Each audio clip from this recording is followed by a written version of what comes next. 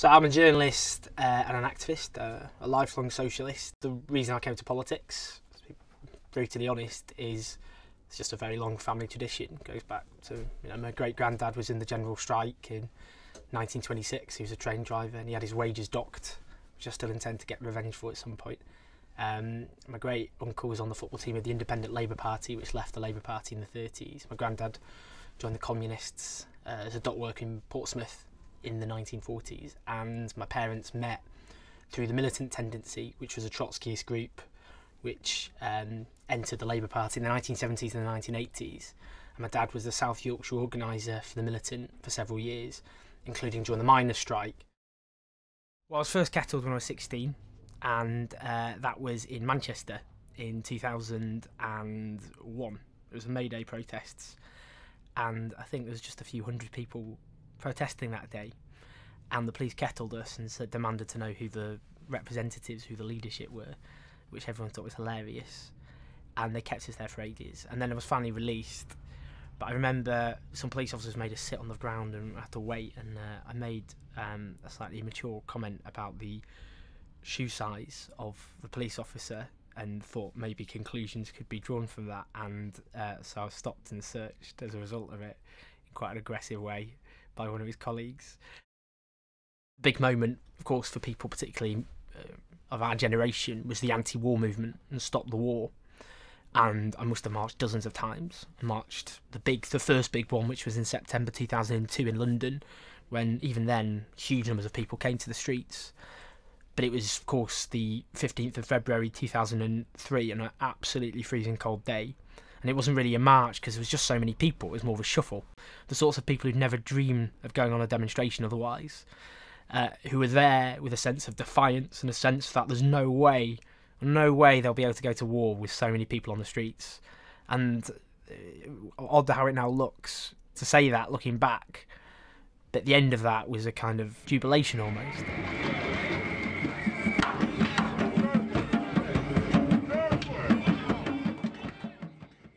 Such an unprecedented act of defiance with no one, no demonstration in history in Britain even close to that size.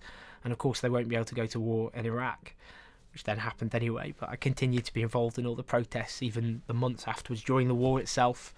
So that was something I was very much threw myself into, like so many other, I suppose, other young people. Well, I think demonstrations themselves, I still think, are, are really important. They're really important because lots of people across the country who want to show their anger um, won't basically get involved beyond demonstrations, just not for them. And if you want to ensure the biggest number of people on the streets, then standard demonstrations have to be part of that. But of course, it's not either or because the argument against that, as people, you know, I go to schools now and talk to young people, I often do talks in schools, and these are kids who were six, seven, eight years old when the Iraq War began.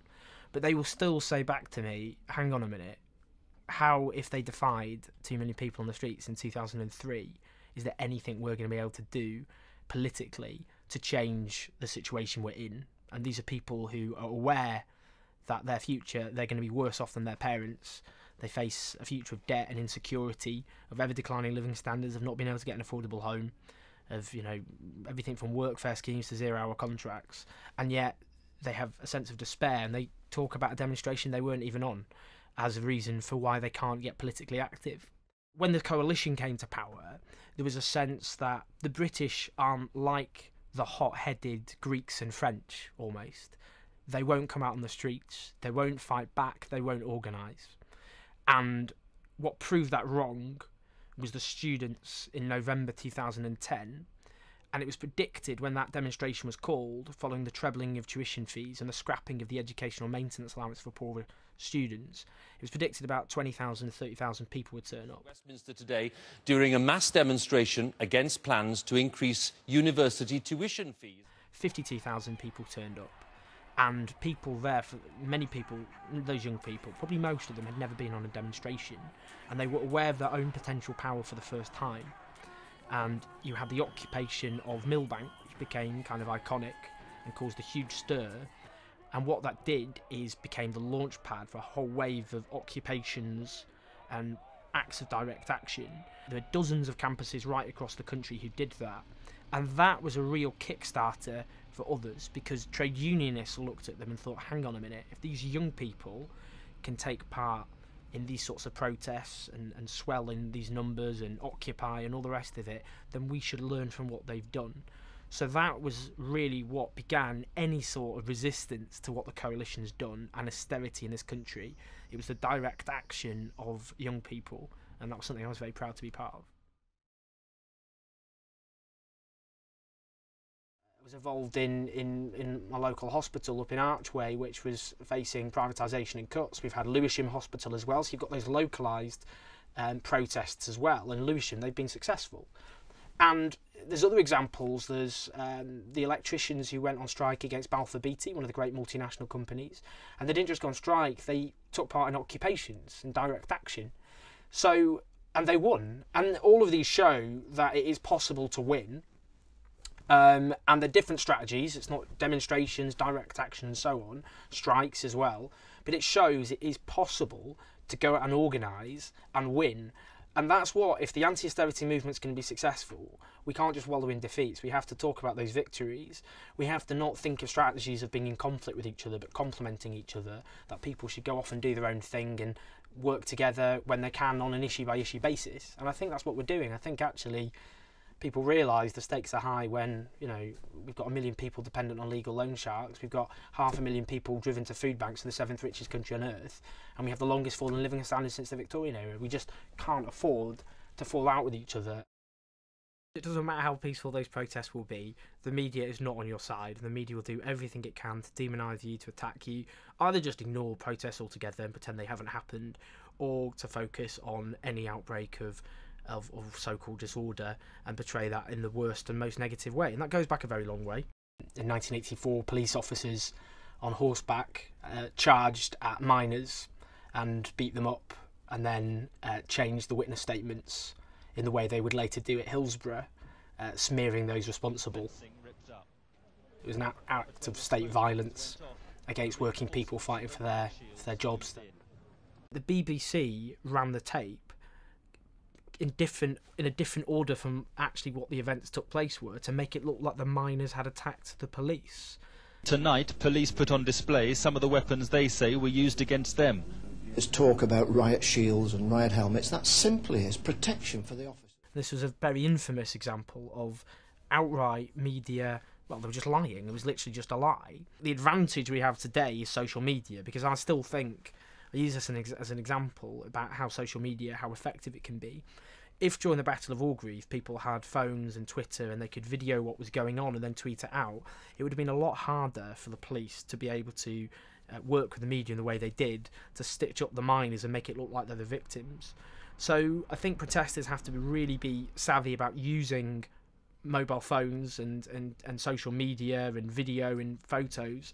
That's how we know what happened to Jody McIntyre who was obviously taken out of his wheelchair in a protest. That's how we know what happened to Ian Tomlinson, who was killed by um, um, a police officer throwing him to the ground. Uh, it's how we know about numerous other examples of police brutality. So we need to use that as effectively as possible because the media, as I say, is not on the side of protesters and will demonise them, and that, that includes the BBC. It includes almost all of the main newspapers. Look at the success of UK Uncut, which organised against uh, tax avoidance, the refusal of some of the biggest companies and wealthiest people in our society uh, to pay the taxes they're expected to pay, uh, which costs what 25 billion pounds each year, and that has a direct impact, of course, on you and your members because that means your services are being slashed. Uh, it means uh, many of your members will be sacked as a result, uh, and during an unprecedented fall in living standards, with austerity partly being justified by a lack of money, uh, that will have a huge impact on the people that you represent. And UK Uncut have very successfully forced that issue on the agenda. And that's something to take inspiration from. That's to go, actually, we haven't managed to put tax avoidance on the agenda with the sorts of strategies we've had. But these people, by taking part in the very proud and noble tradition of peaceful civil disobedience, have done exactly that. And we should take heart from that and learn from that, even if we're not prepared to do that ourselves to occupy shops and businesses. Though I hope, of course, they would think about doing that as a way of reinvigorating their own sort of approach to politics. What you're doing is inspirational and, and, and will push issues on the agenda which are otherwise ignored. But also to look at the trade unions as the biggest democratic movement in the country, representing over six million workers as they do, who are there at the front line when it comes to fighting to, you know, for people to have decent wages they can live on, to fight against unscrupulous bosses who treat their workers uh, in the most terrible way possible. Uh, that trade unions have organised successfully in the past for everything from the weekend to the welfare state and the NHS. These are all things which partly grow out of campaigns of trade unions. And therefore, yeah, sometimes it looks a bit bureaucratic or a bit slow or or the process, the internal process of trade unions seems a bit just a bit dull and a bit grey, and trade unions have to come a long way still in terms of representing women and BME people, for example, and making sure they're actually representative of society. Uh, but they have achieved huge gains, and they're your allies, and you should see them as your allies. And trade unions have backed many of those campaigns, like UK Uncut, which they've been very active in supporting. People might say, well, peaceful civil disobedience uh, even that will put people off. I don't think it will. I don't think UK and Uncut are regarded as as awful people when you even had the Daily Mail giving them positive coverage because they knew that they're largely uh, small c conservative lower middle class readers resented the fact that people richer than them weren't paying their taxes so they had to give them positive coverage so just because they found an issue which basically no one sensible or anyone with any basic reason uh, could argue against then their tactics just helped to drive that issue up the agenda. Uh, and it worked. And that shows how, and we've got to keep talking about this, it is a proud tradition in this country. The gains and rights we have were not given to us by the goodwill and generosity of those above, they were won through the struggle and sacrifice of people from below and all the gains and rights we have weren't weren't won just because people did a few A to B marches and voted at general elections. It took place because people took part in peaceful civil disobedience, sometimes not so peaceful. The suffragettes weren't always peaceful, and they were demonised as violent anarchists at the time. I mean, they were reviled and, and, and hated by the mainstream media, and Home Secretaries would stand up in the House of Commons and and, and joke about how they should be allowed to starve to death. They've always been demonised protesters. We've always got to remember that. But history vindicated all of these people, and that shows they that it worked. That you should expect, if you're effective, you should expect to be demonised and attacked, whatever you do. And that means being confident about your tactics, even when you, you know, you end up with the media just lying about you. That's a horrible thing when you take part in a protest. You go home, you turn on the TV, and it's like you're just looking at a parallel universe. But that is inevitably always going to happen. Taking part in peaceful disobedience is a crucial thing to do. It works, it does work, and you shouldn't fear the consequences of the media demonising you for doing so, because actually you will drive issues up the agenda. Most people think, hang on a minute, I don't think it's people sitting in shops with a problem here. I think it's the fact that their owners aren't paying taxes when I have to pay my taxes.